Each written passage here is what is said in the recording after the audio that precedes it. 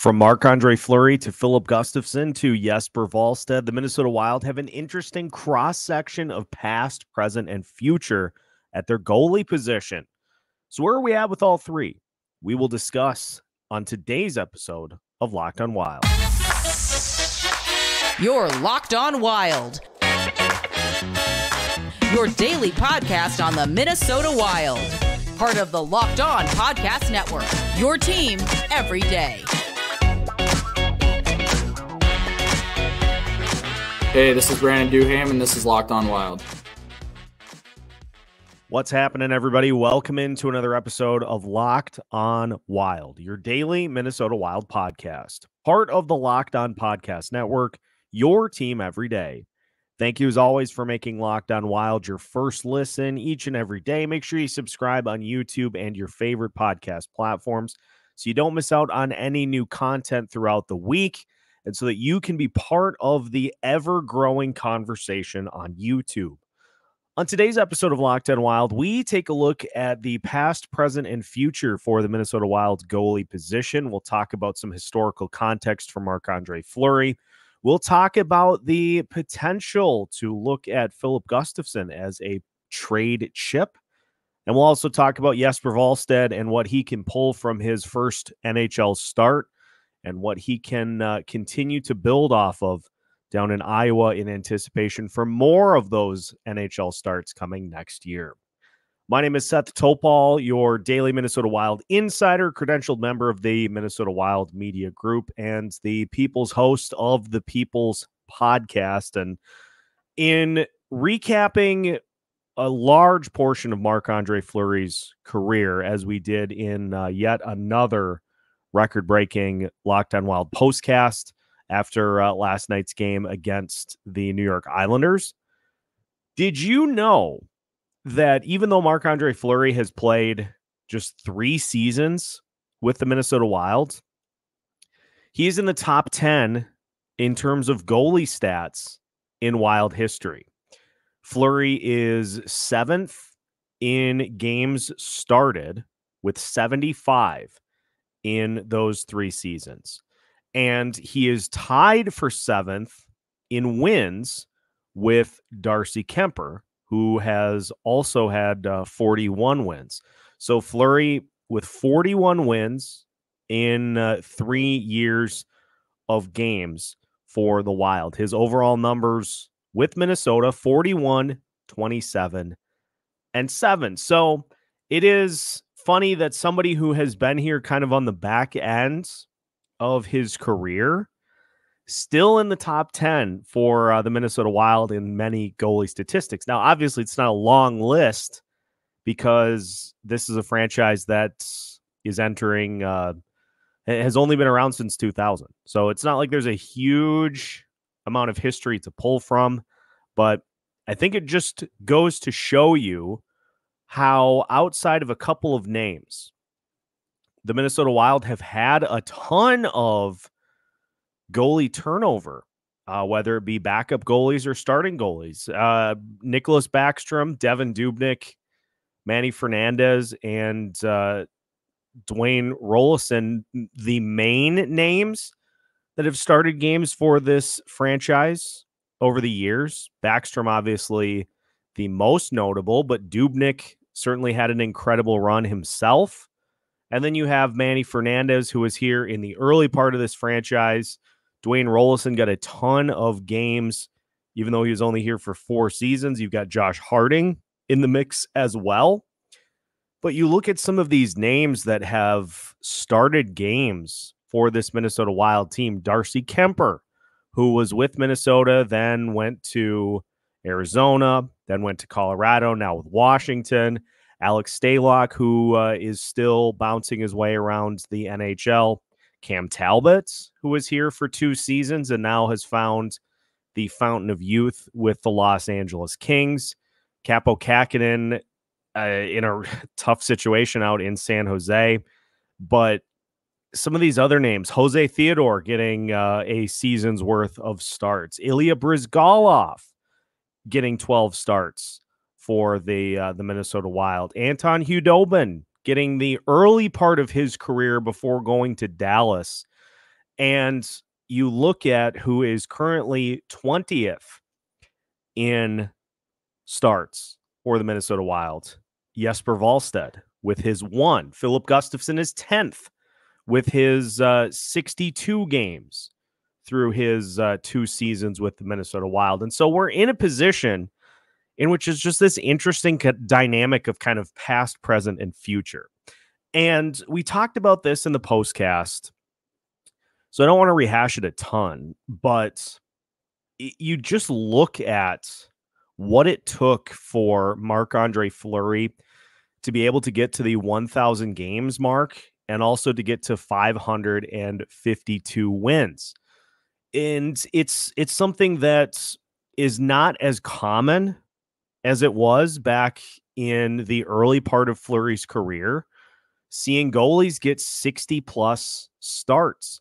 Fleury accomplished that mark in 2006, 2007, 2008, 2009, 2009, 2010, 2010, 2011, 2011, 2012, and then 2013, 2014, 2014, 2015, 2018, 2019, and just missed out on 60 in 2021, 2022, uh, starting in 56 in that season in which he started with Chicago and went to Minnesota. So those benchmarks of 60 games, and we think of the ideal split for goalies these days as around 50 to 55 starts for your primary and the rest go to your backup.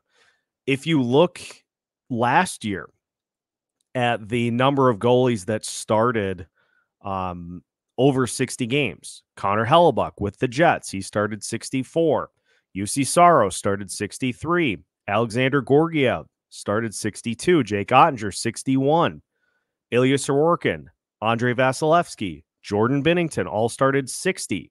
Igor Shesterkin and Jacob Markstrom with 58. Ville Husso and Darcy Kuemper with 56. Those are the only goalies in which started 60 plus in the NHL last year. And obviously, you're talking about some of the best goalies in the league in Hellebuyck, Juuse Saros. Andrei Vasilevskiy's been doing this for a long time and is still very productive in his own right. You've got Jake Oettinger, who is uh, a young up and coming goalie. Ilya Sorokin put together a tremendous season. Jordan Binnington is all over the place 27, 27, and 6 last year. But in order to get to 1,000 games and 552 wins, you have to have the longevity factor for one and Fleury has had that. He really hasn't had a ton in the way of injuries that he's dealt with over the course of his career. And considering his play style, that's something that just frankly is hard to believe. He keeps himself in incredible shape. He is somebody who, even at this stage of his career, is still able to get it done and to win games, maybe not at the same level that he did earlier in his career, but he still is able to twirl performances just like he did early on in the season. And so, you know, we we talk all the time about this notion of father time being undefeated and father time coming for everybody, every athlete. There has never been an athlete that has been able to just continue to play, uh, except for Jaromir, uh, Jagr, who is still playing overseas at like 59. That might be the one exception to father time is uh, Jaromir Jagr just continuing to to play professional hockey at this point. But the point being is that the good ones are the ones that can delay the drop in some of those skills that they had maybe in their 20s or the ones that understand and adapt quickly to how to play while some of those skills start to drop off. And Fleury is just as agile, just as athletic now as he was when his career started. He still bounces out of the net. He still is not afraid to come flying up the ice to try to play a puck that somebody has on a breakaway. He just he he has no fear even at this stage in his career of of throwing it all out there on the line to try to come away with a win. So you got to have the longevity, you got to have the fearlessness. And if we've learned anything from Marc Andre Fleury in his tenure here, because there have been plenty of great starts that he's had as a member of the Minnesota Wild. There also have been some very forgettable ones. The ability to move on from a bad start and be ready to go the next night is something that you have to have, especially as a goalie. The ability to shake off adversity. And Fleury has been in the net for plenty of goals against throughout the course of his career, but he just continues to answer the bell and continues to put himself in position to be able to to rack up wins and so it's no accident that he is now second all time in wins in NHL history because of the way he prepares, the way he keeps his body ready, and the way he's able to flush even even moving on from a good start because you're not going to necessarily have your same stuff, quote unquote, every game. And so the ability to reset after wins and losses is something that I think has been key for him to continue this run that he has been on well into his late 30s, well into the age at which a lot of other athletes have just not been able to sustain that level of play. And yet Marc Andre Fleury's still here doing it. And so it's pretty easy for me to say that there just is not going to be another guy like Fleury who encompassed the skill and the style and the swagger all into one when he was out there on the ice. There truly will never be another like him.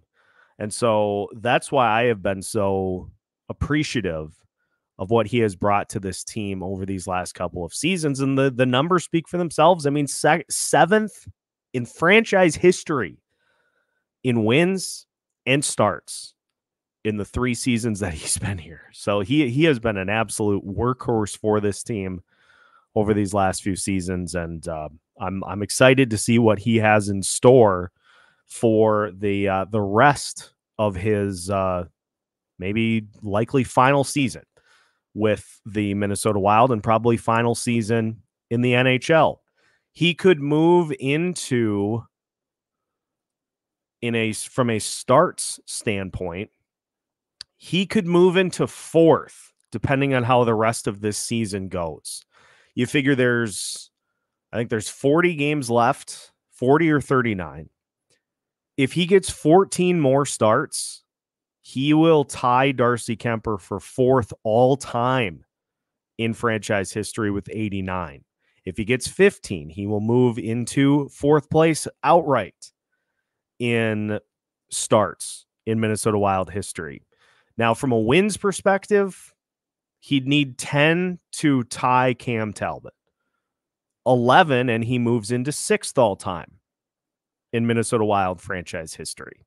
So maybe there are still some numbers that Fleury can chase down the stretch for this team, but uh, obviously we kind of have a little bit of a different idea as to how the rest of this season plays out. And don't worry, we are going to get to Bill Guerin's comments at the the outset of yesterday's game. Uh, just wanted to do kind of some goalie talk here to get us going, but we'll we'll react to those comments and I'll lay out exactly what the Minnesota Wild would have to do if the playoffs are in store for their future. Again, going on record and saying I don't think that's in the cards, but if we'll lay out what exactly would have to happen coming up for you tomorrow. But for now, I want to talk about an interesting theory that has been dropped as to how the Wild could look at their goalie situation going forward. And so when we come back, we'll talk about what to do with Filip Gustavsson going forward. That's on the way as we continue today's episode of Locked on Wild after this. Today's episode of Locked on Wild is brought to you by Game Time. And if you are trying to live more in the moment here in 2024, trying to attend more concerts, trying to watch the Minnesota Timberwolves light things up at the Target Center more in person, or trying to catch the PWHL here in Minnesota as the uh, ladies off to a rockin' start, you can capture all of those events with great tickets at Game Time. Game Time offers you last minute deals on tickets, plus views of every seat in the venue you're headed to.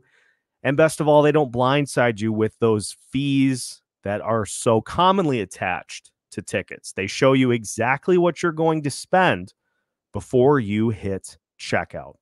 Game Time can help you take the guesswork out of buying tickets. Download the Game Time app, create an account, and use code LOCKED ON for $20 off your purchase. Terms apply. Again, create an account and redeem code L O C K E D O N for $20 off. Download Game Time today.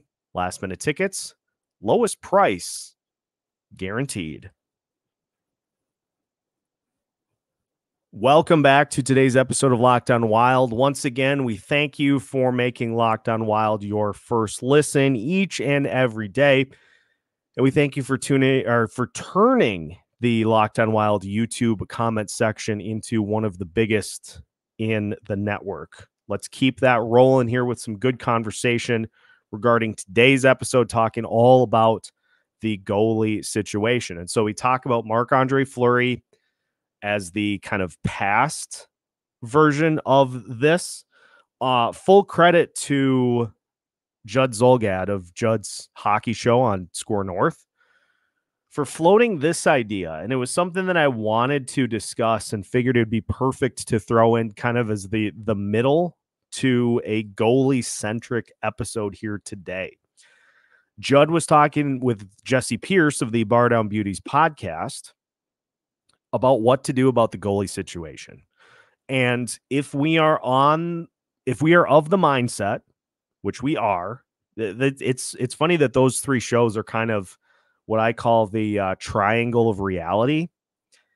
In just looking at this not being a season where the Wild are likely to make the postseason, so you're looking then at what you can do at the deadline to acquire some additional assets to allow you to have some more opportunities to draft in the offseason.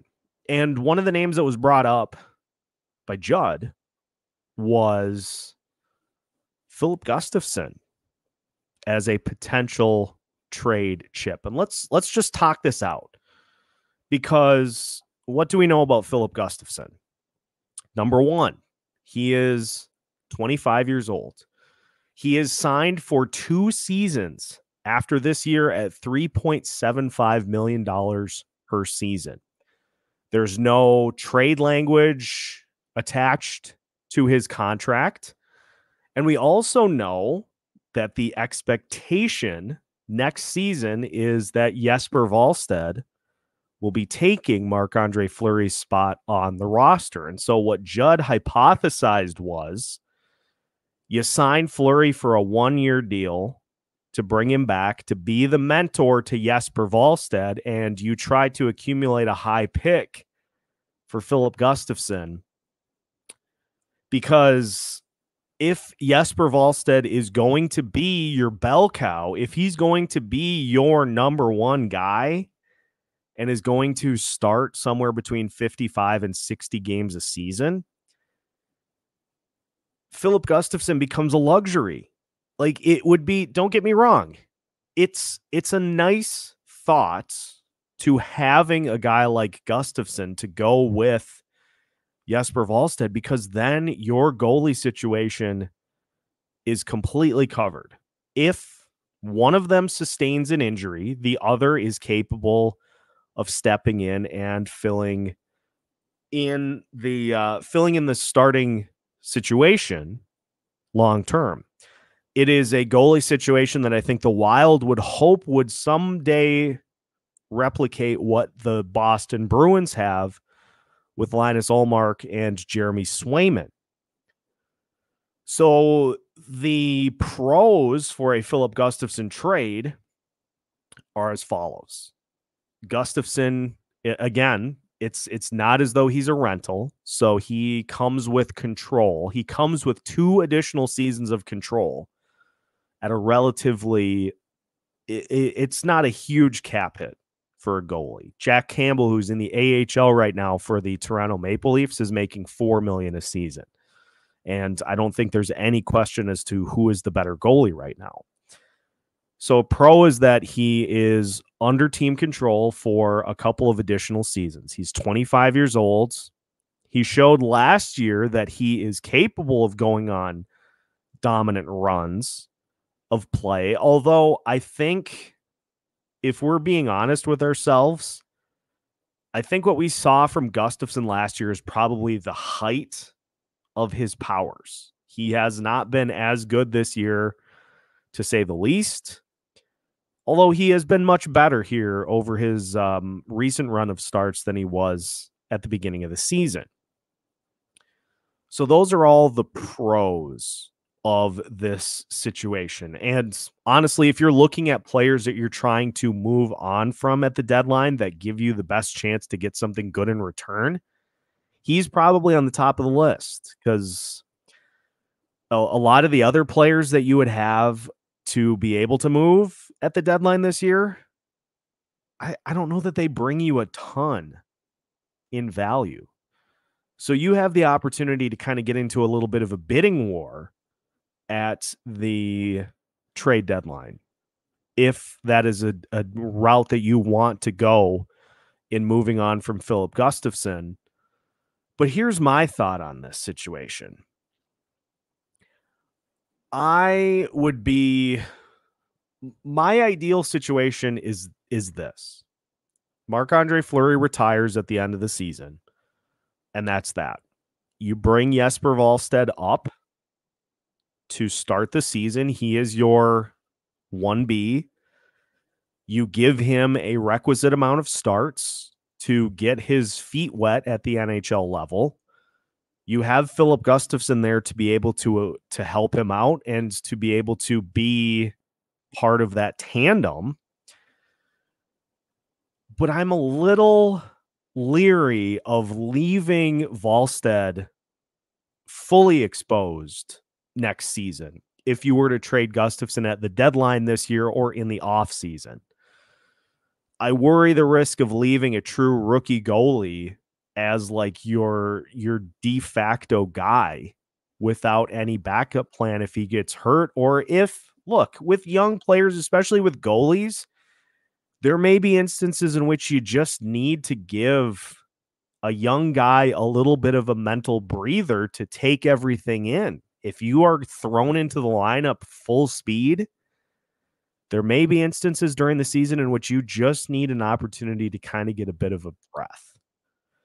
Filip having Filip Gustavsson on the roster gives you the opportunity to do that. Now, there are some names on the free agent list that would be able to be thrown in to be a backup. I mean, you look at, for instance, I'll just throw Laurent Laurent Brossoit out there having a great season with Vancouver as their backup. He's 7 and 3 with a 2.19 goals against average, making 1.75 million dollars.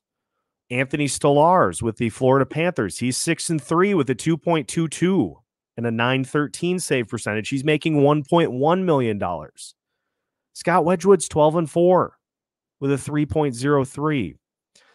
So there are some names if you went that route that you could um that you could throw in but i think i think the better target if you go that route with Gustavsson is next year's trade deadline because let's say the wilds have a similar season next year that they have had this year And Wallstedt shows that he is like he's getting the hang of things by the trade deadline. Filip Gustavsson has a, a relatively good year. The point being, let's say you get to next year's trade deadline and you feel comfortable handing the reins over to Wallstedt. Then I think you make the move at that point because then whichever team you send him to has an additional season of control and you therefore are likely to get something more of substance than just simply giving somebody away as a rental um to you know to help them for the playoff push i'm not in I'm not against the idea in in the slightest really because again you're talking about a luxury for a team that is going to have an incredibly hard time making the postseason this year and next year too. But then again, it's a huge security blanket to allow you to really gradually ease Jesper in without fully overwhelming him in his first season in the NHL. So I think if I had to make the decision, I probably look at this again next trade deadline as opposed to this trade deadline. But it, Judd is right.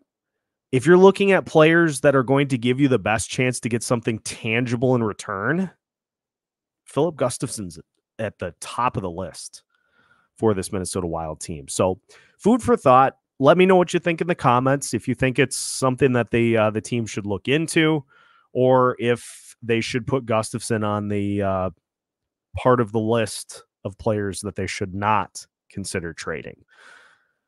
We'll finish by talking about Jesper a little bit and some of the things that he can pull from his first NHL start as he uh, looks to make many more of them starting next season. That is on the way as we finish today's episode of Locked on Wild after this.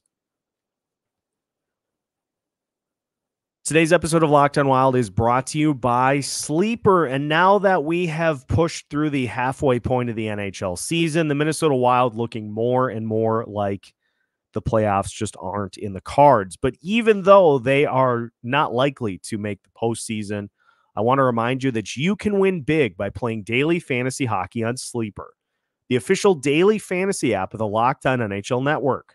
Sleeper is our number one choice for daily fantasy sports and especially daily fantasy hockey because with Sleeper, you can win 100 times your cash in daily fantasy hockey contests.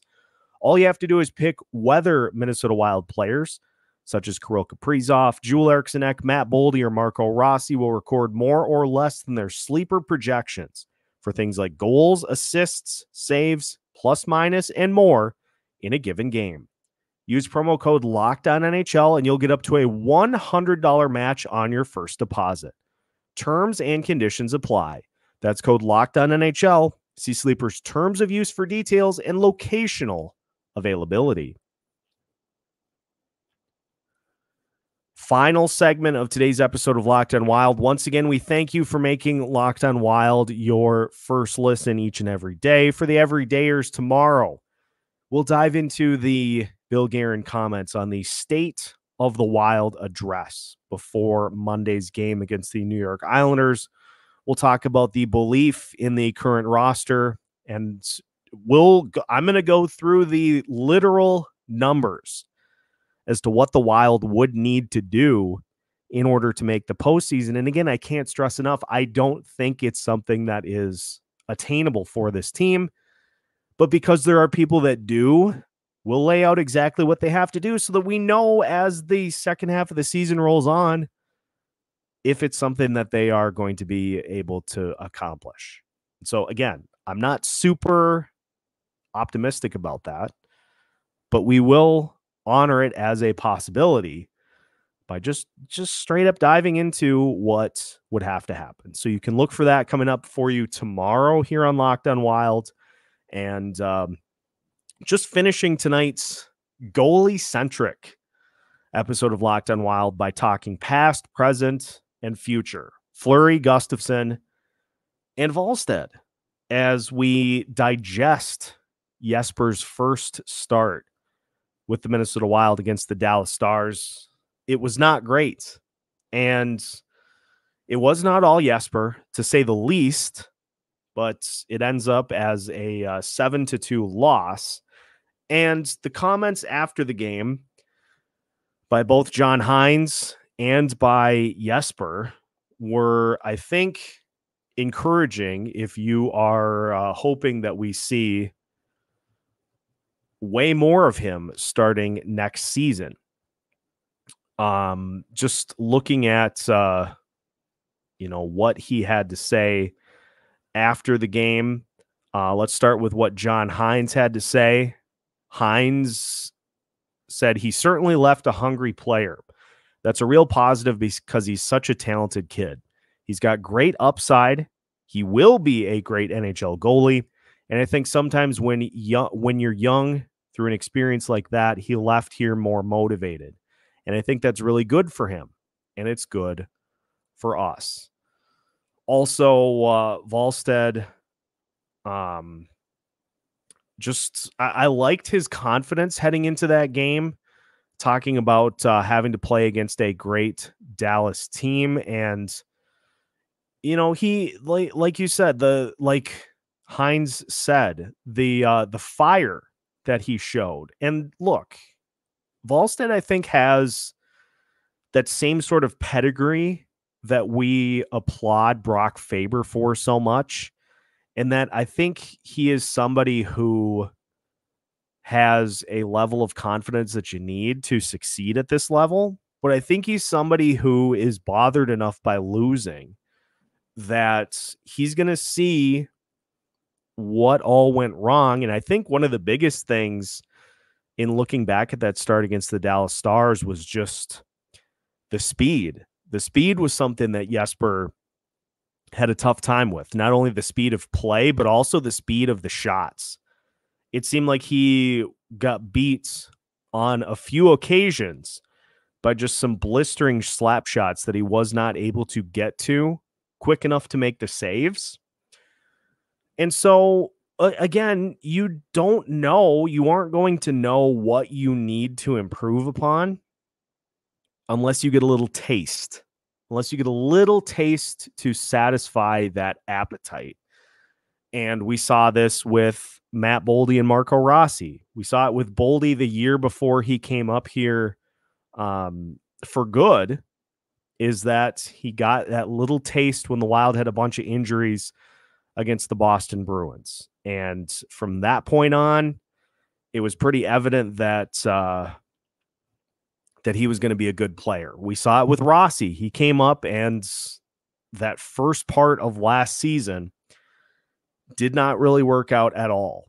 But he got a taste. He went down to Iowa. He worked on a couple of things. He put in a full off season of work to get himself into position to succeed. And look at how things have worked out so far this year. He's been one of the better players on the ice for the entirety of the season these young players, you get an opportunity to see what it takes to succeed at this level. And you either work at it and get yourself in a position to succeed, or it just is too much. And it's something that you just are never able to uh, to live up to. But again, you have to have that drive. You have to have that competitive nature to be able to learn from a bumpy start and harness some of that frustration, harness some of that competitive fire and put it to good use. And I, I have no doubt that Jesper is going to do that because, again, I think what we have seen from him so far throughout his AHL career is he has just this overabundance of confidence and he harnesses it almost to kind of a I don't think cocky is the right word, but almost to like a, you know, that borderline of overconfidence and just assuredness that you're going to be good. And you need that.